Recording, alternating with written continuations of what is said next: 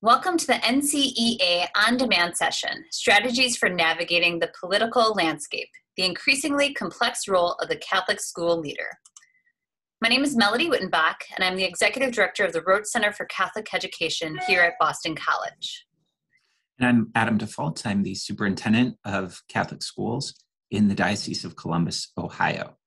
So today we're going to be talking about the connection between education and politics education policy has become truly central to the role of leaders and diocesan officials, and therefore a discussion of, of the growing role of diocesan offices and schools in government affairs is critical. Our presentation today is going to leave you with a few things. Number one, a deeper understanding of how legislation as written has the potential to impact Catholic schools. Number two, an understanding of the political framework that we operate in. And number three, strategies for navigating politics, including the enhanced awareness of this new dimension of Catholic school leadership. To begin, we'll share a little bit about ourselves and our personal stories and how we began, began to see our role as political agents working within the Catholic school system. So I'll start. I um, got in, interested in education and government in college. I, my undergraduate degree is in government, and I began teaching in a Catholic school after after graduation, and would often get that question: How are you using that government degree? Um, when I started as a principal, the answer would have been not really. Politics at that time was limited to school lunches and Title I. It was assumed that since we've got limited government support, there was limited concern and limited involvement of the government in Catholic schools. Since we weren't public, there was little for them to, to do. In many states, that is true, and there is a hands off approach to Catholic education. But when I began serving as a superintendent here in Ohio, I saw something completely different. Ohio provides a lot for non public schools everything from bus transportation to administrative cost reimbursement to five different uh, voucher scholarship programs, a scholarship granting organization for tax credits, being a principal in Ohio or a superintendent in Ohio means having to learn to manage these programs and the relationship that keeps questions answered and programs growing. And there's always that risk that since these are creations of the legislature, these types of programs can be taken away by the legislature. So, comparing these two experiences of government leads to the conclusion that although church and state might be separate, they have a great deal of connection. And so now I certainly am using that undergraduate degree a lot more. And for myself, yeah. So I, for the past seven years, I have been working more around the formation of leaders for our Catholic school system, both here at Boston College and at the University of Notre Dame. But prior to that, my service to Catholic schools was the first as a teacher, where I was working always with kind of the marginalized students in uh, lower income schools. And then I became a principal in Milwaukee, Wisconsin, where we know the first school voucher program began here in the United States. And when I was president there, um, I our school board had not moved forward with actually the voucher program, and so I had to work and negotiate and build a coalition around why we should actually engage in this school choice program, what the financial benefits would be, how we would administer this within our Catholic school. And so our school did engage in that uh, voucher program and it continues to today to benefit from the resources that the federal government um, and state government provides, um, both at the um, title level, but then also with the vouchers. And so it really, this kind of engagement at the local level in this really helped to shift my understanding of how you know, as school leaders, we really are political agents and that we really have an opportunity to give voice to policies that really impact our ability to operate and provide an equitable education to our students and to allow families who desire that uh, choice of an education for their child, how we can really be a voice for them um, at the legislative level. And so we're going to dive into a conversation on politics a bit more here, um, as Adam had said. And so that just gives you a little bit about our own personal backgrounds and why this has become an, uh, kind of a passionate issue for both of us. So I'm going to begin with kind of providing a little bit of a understanding of the political frame uh, and how we can look at our work as Catholic educators. And when we think about politics, oftentimes people are a little apprehensive, right? They don't want to dive into conversations for fear of maybe offending somebody or for bringing about a political view that might be not in alignment with someone else. And so uh, they can kind of shy away from conversations that might be somewhat um, bringing about conflict, if you will. But politics is really the realistic process of making decisions and allocating resources in a context of scarcity and with divergent interests. And I'm going to unpack this a little bit more. And this quote really comes from um, two scholars, Bolman and Deal, who look at organizational theory. And they look at it saying there are different ways that we could operate as a leader or as an individual within the context of an organization.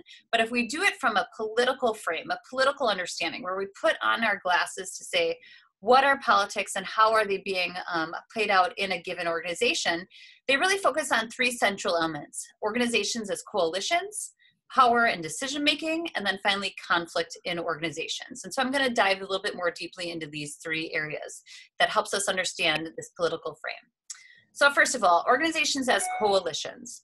So when we think a little bit about our Catholic schools, I'm sure that you can see that there are different coalitions or different groups of individuals who kind of align with one another. This isn't uncommon. I think if you were to go into any teacher faculty lounge, you would see that there's certain people who are often together around with one another more regularly than one another. You know, people kind of form alliances within organizations, right? You have different people who often have common interests that you have, they align with you because of the values that you may have and beliefs that you uphold. And so, oftentimes, when you think a little bit about how an organization operates, right, we do what we do because we believe that we can be better together, right? Better together than we are apart. And so, when people form these different or coalitions or groups or kind of support networks, they can navigate different decision making in a way that, you know, where more voices and more people give voice to something, they can influence an outcome. And so, they are kind of an opportunity to have some collective action, these groups of individuals, and kind of are motivated by similar kind of um, purposes, right? Similar values, similar beliefs. So that's one thing to kind of think a little bit about, especially as we kind of broaden the context of thinking about how is our Catholic school um, in, integrated within the larger Catholic school diocese, how are we interfacing with other, you know, leaders of Catholic schools, teachers of the Catholic schools within our, you know, given area, but locally, and then expanding that out, even regionally, nationally, how are we a coalition of Catholic schools, right? And then how do we even interface with others within the sector, right? So our public school counterparts, our charter school counterparts. And so I think one of the things that we have to keep in mind is that we truly are better together as a Catholic school system. Now, I mentioned a little bit about decision making, but it really ultimately comes to power, right? So, individuals and groups, everybody has different needs that exist. And as uh, Bolman and Deal quote stated, right, there are often scarce resources um, that exist in a given community, in a given organization. And people are kind of vying for those resources. And we know that Catholic schools have done an exceptional job of finding a way to stretch their dollar, to utilize the resources that they have to be able to kind of operate their school communities. And when we think a little bit about how does that kind of um, sometimes when we are competing right for different resources our interests collide we may see some conflict that exists or that that arises and so how competing groups articulate their preferences and can mobilize power right kind of that group influence or an ability to kind of exercise different types of power can really drive an outcome and power produces power produces reality. That's one of the things that it really is very introduced, interesting to kind of give thought to. There are different types of power that exist. When you think a little bit about you yourself as an individual be it a teacher be it a leader you have personal power you have influence. You may have a reputation right? If you're an exceptional teacher you may have people come to you and say oh i've heard you're a wonderful teacher. I want to come you know observe you or oh you have great influence. You have just a strong reputation by the parents. That's a different type of power that exists within our communities. Um, individuals have information and extra expertise. If you know something is going to happen, you have a type of power that maybe someone that doesn't know doesn't have. Um, and so there are different types of power that exist that are in, that are important for us to be mindful of. And how that power is exercised again influences decision making. Now, one thing to note is conflict isn't necessarily bad in organizations. Conflict is normal. It's inevitable. It, it exists right? There are people who have different kind of approaches. They uh, maybe articulate things differently. And so when you are in conflict when there is that scarce resources and you have incompatible differences one thing that is definitely going to rise is conflict right and so conflict has a potential to do something really good though. And I think if you can think a little bit about how in organizations, be it even in other industries, when we look at, you know, competing businesses that have a similar product, right? They can often challenge the status quo when they're in conflict with one another because what they do is they have to stimulate innovation. They have to stimulate change. They have to stimulate people to think about how are we going to continue to grow and improve our practices? And so conflict in organizations can exist. And i think that we see that and, and um, adam's going to go a little bit more deeply into this when we think a little bit about conflict in between um, kind of the public the charter the private sector within a school ecosystem but again, conflict can encourage right new ideas, and it's important to kind of give that context. It isn't always bad. We can't necessarily shy away from that. We've got to be able to approach things differently and in an innovative way. So Adam's going to talk now a little bit about a study that he did um, that kind of kind of helped to demonstrate how this political frame is in action in the state of Ohio. Thanks, Melodie. So we can look at a study that I engaged in um, very recently as a case study of everything that Melodie just outlined in terms of power and politics in Catholic education. And this study um, looked at the political frame of the school principal experience, particularly with the EdChoice program here in Ohio. EdChoice is one of the five voucher programs that serve students in our state in non public schools. Uh, in 2019, this program served 40,000 students um, across our state. And it now provides uh, scholarships up to $5,500 for elementary schools and $7,500 for high schools. So it's significant funding for our schools. And it's controversial. In 2019, there was a legislative attempt to modify the EdChoice program, and it resulted in days of very intense hearings at the Ohio State House. The controversy can really best be summarized by two very opposing comments. One test person who testified said, one size does not fit all when it comes to children and their education, and no one knows their child better than a parent. Vouchers provide equal opportunity to families that empowers them to select the educational path that best fits their child's needs. Another testifier said, To me, it is really simple. EdChoice was established to take taxpayer voted money for public education and to subsidize financially strained private schools. And you can guess which person was from a Catholic school and which person was from a public school. So, with that as the background and the landscape, this study took a look at what the principal experience of utilizing this program was actually like and how they navigated through the political space.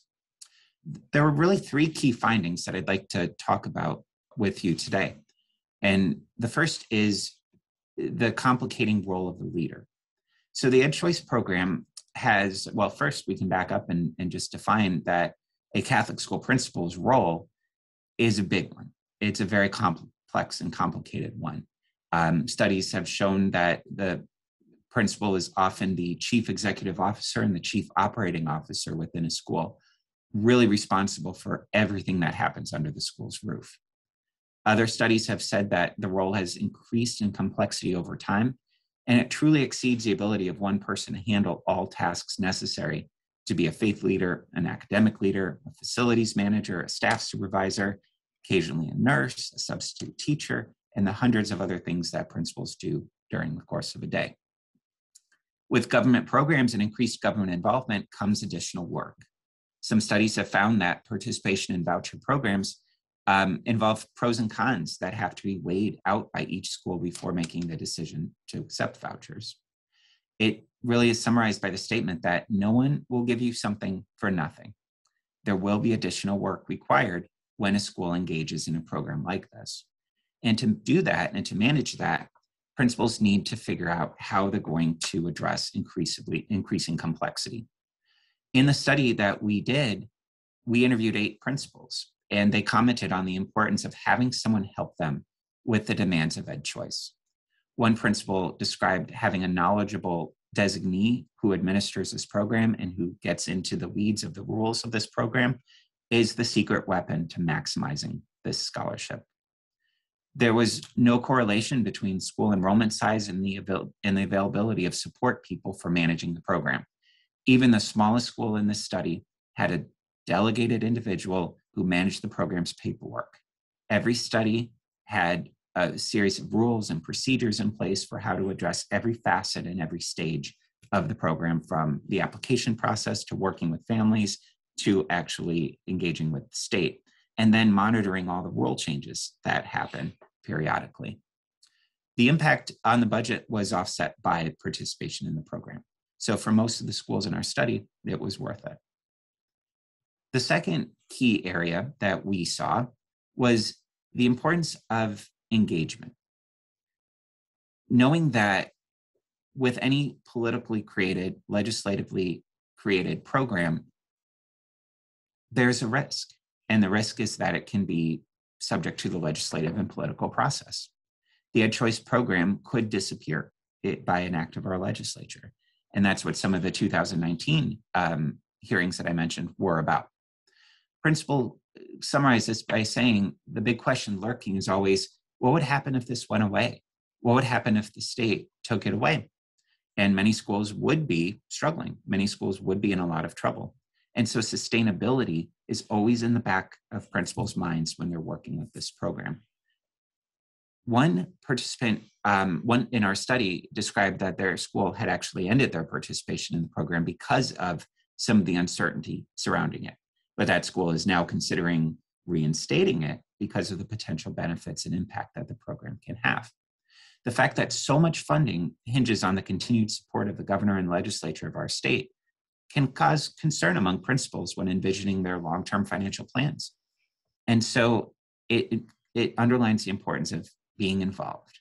Principals have to stay aware and engaged with the political process, knowing what's happening, knowing what's going on, what are the key debates, what are the key issues, and they need to advocate.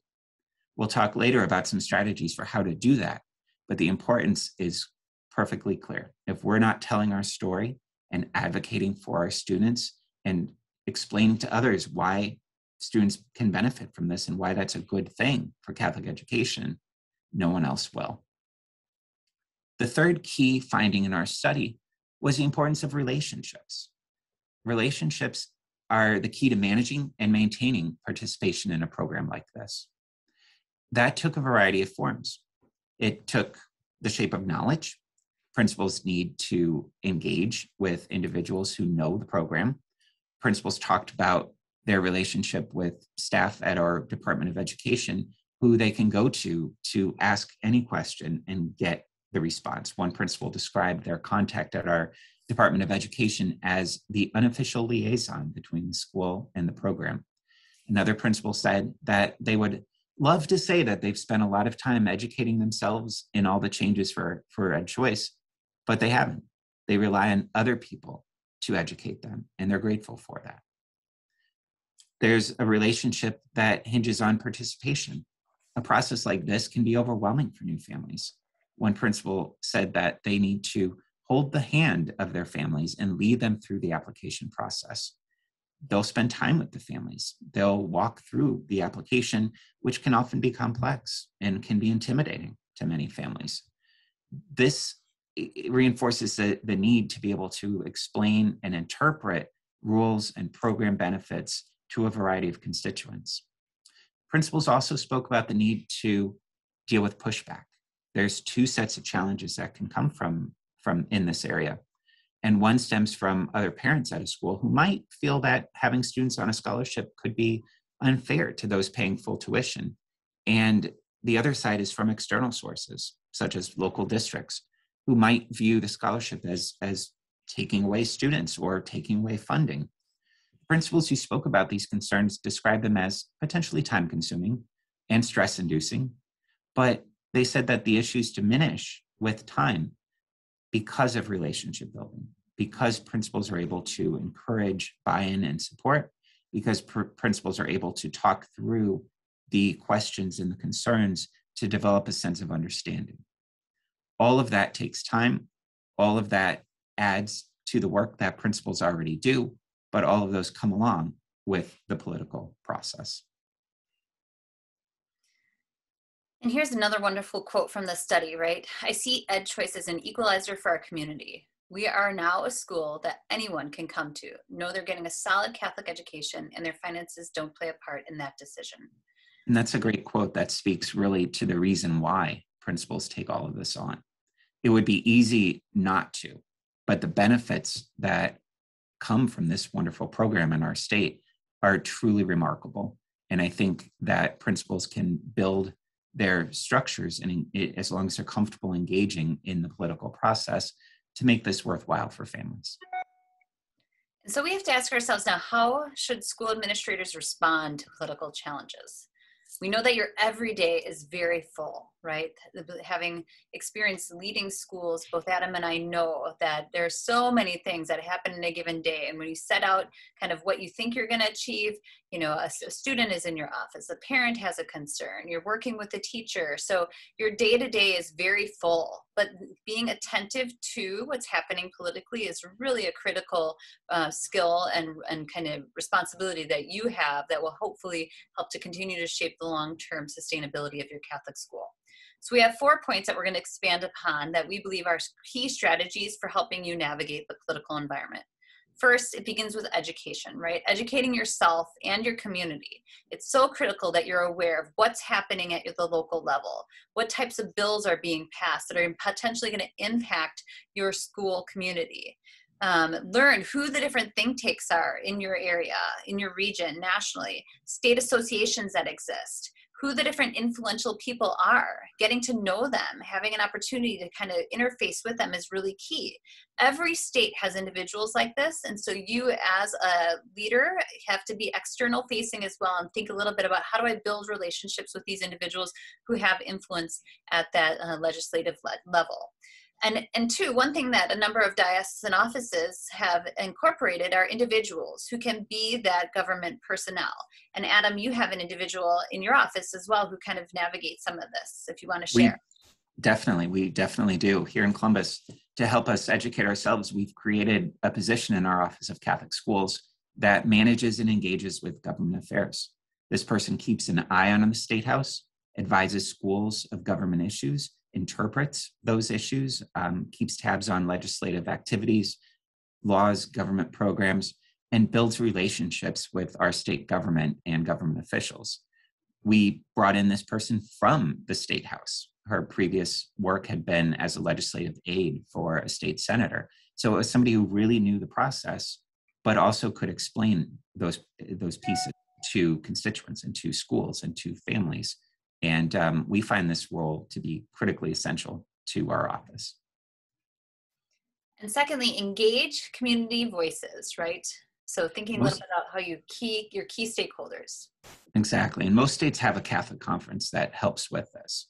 For superintendents, knowing that Catholic conference is there and engaging with them, meeting frequently and uh, understanding the issues that they're tackling is critical. And then sharing that and communicating that out to principals makes a big difference. Here in Ohio, our superintendents meet with our Catholic conference once a month.